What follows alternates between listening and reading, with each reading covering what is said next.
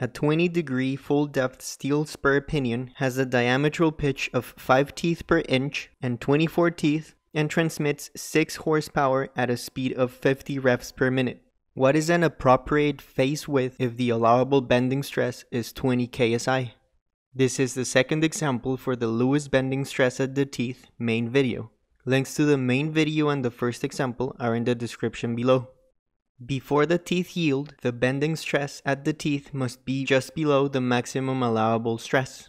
From this expression, we can solve for the value of the face, and notice that we need to calculate the velocity factor kV, the tangential component of the force W, and the Lewis form factor capital Y.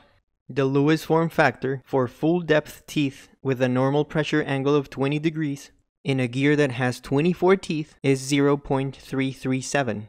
From the power equation equal to torque times the angular velocity, we can solve for the tangential component of the interaction force W and realize that we need the radius of the gear.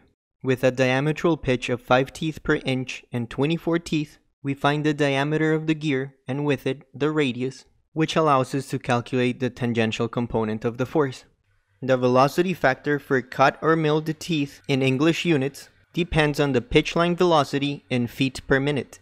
This tangential velocity, which is the angular velocity times the radius, is equal to 62.83 feet per minute when correcting for units.